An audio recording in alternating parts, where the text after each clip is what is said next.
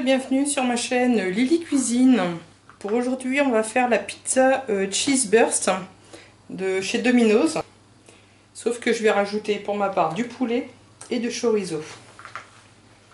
Donc vous pouvez modifier, il n'y a pas de souci. Alors, il nous faudra de la pâte à pizza, je vous mettrai le lien pour la réaliser, de l'origan, du fromage râpé, donc là j'ai euh, de lait d'âme et euh, du chèvre.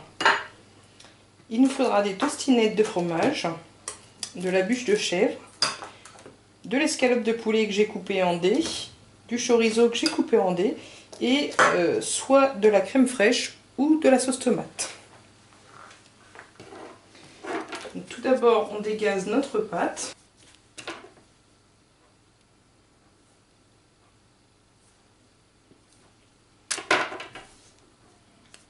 On découpe une boule comme ceci.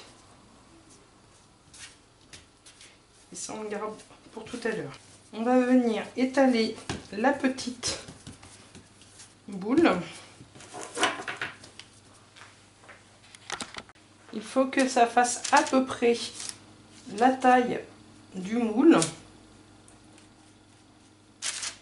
Pour info, le moule fait 22 cm. Donc il faut laisser environ 1 cm sur les côtés. Et on va cuire cette pâte dans une poêle. J'ai sorti la poêle.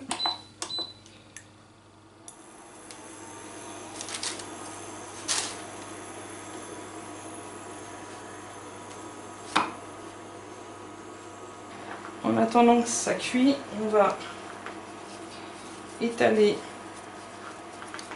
notre pâte dans notre cercle à pâte.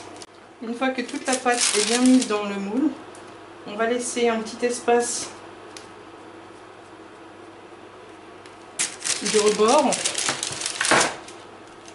On va creuser avec nos doigts la pâte. On retourne régulièrement notre pâte comme ceci.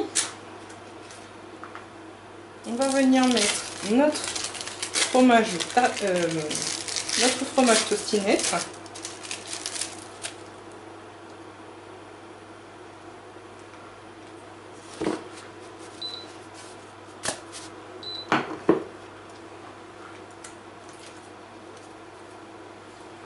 pour la pâte ici, il faut qu'il y ait une légère euh, coloration. On préchauffe notre four aussi à 180 degrés. Ensuite, on va déposer notre pâte qu'on vient de cuire. Et on va venir remonter la pâte par-dessus.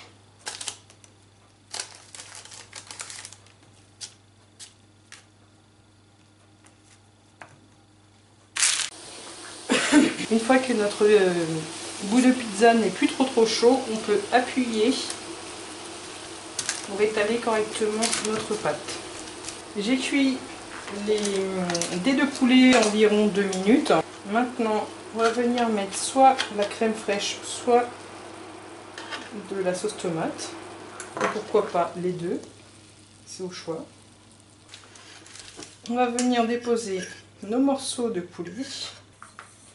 Puis on va venir mettre le chorizo. Ensuite, on va venir mettre le fromage râpé. Et pour finir, on vient mettre un peu d'origan par-dessus. On va cuire ceci pendant environ une vingtaine de minutes à 180 degrés. Voici le résultat. Donc cuisson euh, pendant 23 minutes à 180 degrés. Voilà, je vous souhaite un bon appétit. À bientôt